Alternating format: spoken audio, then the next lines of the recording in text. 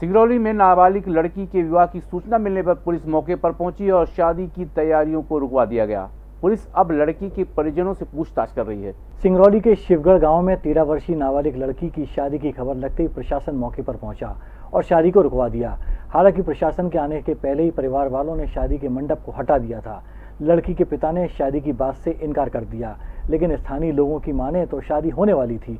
अगर पुलिस प्रशासन समय पर नहीं पहुँचता तो ये शादी कर दी जाती। सबूतों के आधार पर पुलिस ने लड़की के पिता को पूछताछ के लिए थाने बुला लिया है जहाँ मामले की तफ्तीश की जा रही है।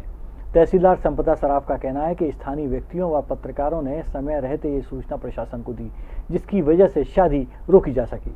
आ, ये हमको सूचना मिली थी कुछ लोगों द्वारा। मैसेज आया था कि यहाँ पे बाल विवाह हो रहा है अक्षय तृतीया के मौके पर। उस सूचना को हमने कंफर्म किया हमारी राजस्व की टीम से।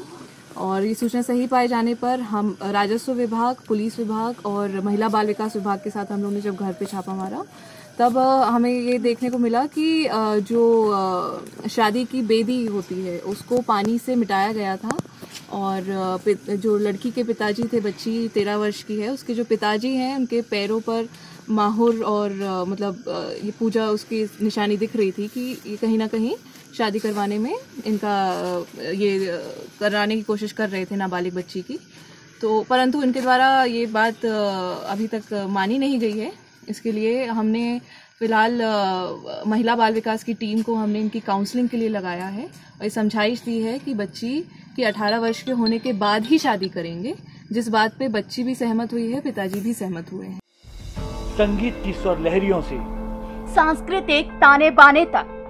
चंबल के पीड़ों से नक्सलवादियों के गढ़ तक झोपड़ी से महलों तक ठेलों से मेलों तक पगडंडियों से सड़कों तक गाँव से शहरों तक व्यापार से उद्योगों तक। राजनीति से कूटनीति तक। दखन न्यूज़। आपके हक।